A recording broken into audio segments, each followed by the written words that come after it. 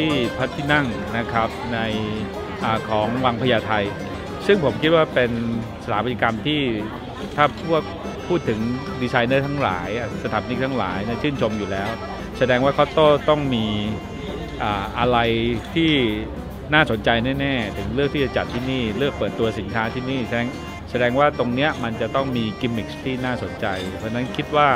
ผมก็ตื่นเต้นนะฮะเพราะฉะนั้นสเกดูเดิมก็เลยเลื่อนไปหมดเลย ตัดสินใจ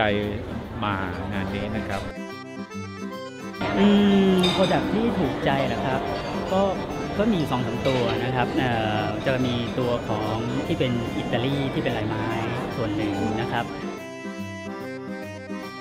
รูปแบบงานอย่างเงี้ยก็ก็ดูดีก็คือบรรยากาศแบบเหมือนย้อนยุค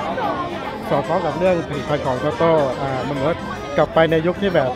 อะไรนั้นแบบศิลปะแบบทันสมัยนิดนึงอะไรเงี้ย อ่าบรรยากาศงานเนี่ยต้องบอกว่าไม่ผิดหวังนะครับ เพราะว่า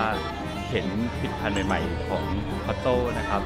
ไม่ว่าจะเป็นพวกกระเบื้องนะครับไซส์ต่างๆ สี textureก็บรรยากาศดีมากเลยค่ะ ก็คือดูหรูหราจัดในวังอะไรอย่างนี้ ก็เหมาะกับตัวผลิตภัณฑ์ที่มาเปิดตัวอะไรอย่างเงี้ยค่ะ ชอบกระเบื้องแผ่นใหญ่ ๆ นะครับ ก็มีตัวเมตรคูณเมตรก็น่าสนใจนะครับแล้วก็มีตัวลายไม้ selection oak ก็ได้บรรยากาศไม้โอเค ครั้งเนี้ยพอเห็นการ์ดก็แล้วก็เห็นสถานที่เนี่ยคิดไว้ก่อนเลยว่าเอ๊ะจะมาแนวไหนนะแบบทีแรกน้องๆเขาบอกว่าเขาไม่ทราบด้วยว่าต้องแต่งตัวธีมยังไง แต่ว่าพอมาถึงเนี่ยคือรู้สึกว่าเออมันมันมันเรียกว่าไงฮะมันเออมันเหนือคาด ที่ถูกใจจะเป็นกระเบื้องลายหินนะคะซึ่งซึ่งชอบอยู่แล้วเป็นกระเบื้องแผ่นใหญ่ใช่ไหมคะรอยต่อมันจะน้อย เพราะฉะนั้นรอยต่อน้อยมันสามารถแบบว่า